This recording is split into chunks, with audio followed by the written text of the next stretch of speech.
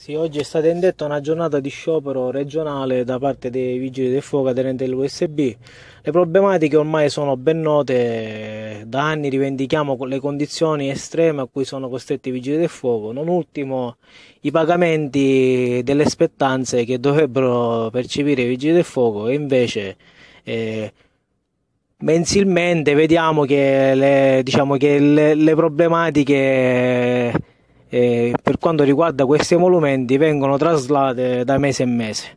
Siamo arrivati quasi ad un anno per uh, l'economia del G7, i buoni pasto sono passati 5 mesi, forse cominceranno ad essere distribuiti non tutti e 5 mesi ma qualche mesetto a breve.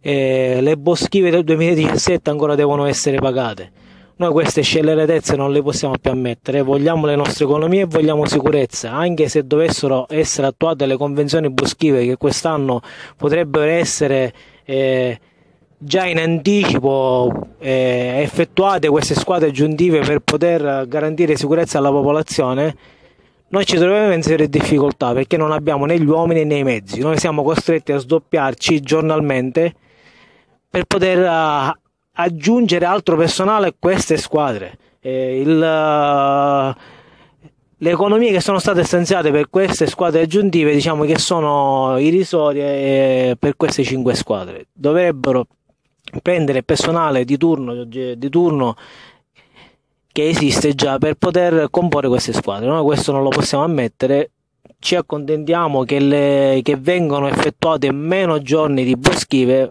ma che personale sia personale fresco e che sia personale remunerato per questo servizio.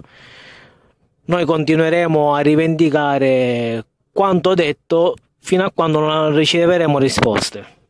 E la cosa, la cosa grave è che qualche sindacato, invece di tutelare i lavoratori, si è permesso di boicottare anche lo sciopero di oggi. Questa è una cosa che noi sinceramente ci lasciamo